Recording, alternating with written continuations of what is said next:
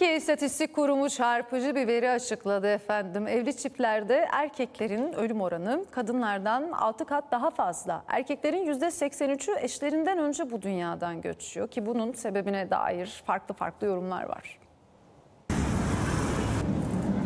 Kadından erkeğin yaşının arasında en az bir 10 yaş oluyor. Mesela Refik abimle benim aramda da 9 yaş var. Yani kadın dırdırından değil de yaşı geldiği içindir be- bence. Kadınlar yedi canlı, divrik oluyor, erkekler tez ölügen. Hemen ölü veriyorlar, ölüyorlar, kadınlar dul kalıyor. Kadınlar yedi canlı mı yoksa dırdır ömrü mü kısaltıyor bilinmez. Ama istatistiklere göre evli çiftlerde erkeklerin ölüm oranı kadınlardan 6 kat daha fazla. Bir evde kadın evin ışığımış. Evin ışığı söndü mü o evin her şeysi biter. Direği yıkılır. İstatistik kurumu verilerine göre Türkiye'de 3 milyon 155 bin 454 dul kadın var. Dul erkeklerin sayısı ise sadece 537 bin 620. Yani arada uçurum var. Erkeklerde yaşam süresini kısaltan bazı kötü alışkanlıklar kadınlara göre daha yaygın olabilir. Bir yumurta pişirmeyi bile belki yapamam eşim olmadan. Veyahut da bir yemek, bir karnı yarı bile yapamam.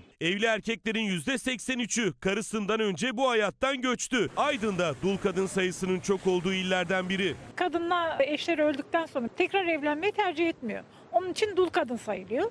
Ama erkekler eşi ölen erkek ama 70 yaşında tekrar evlenmeyi tercih ettiği için dul sayılmıyor. Şimdi ben ölsem benim hanım kocaya gitmez. Niye?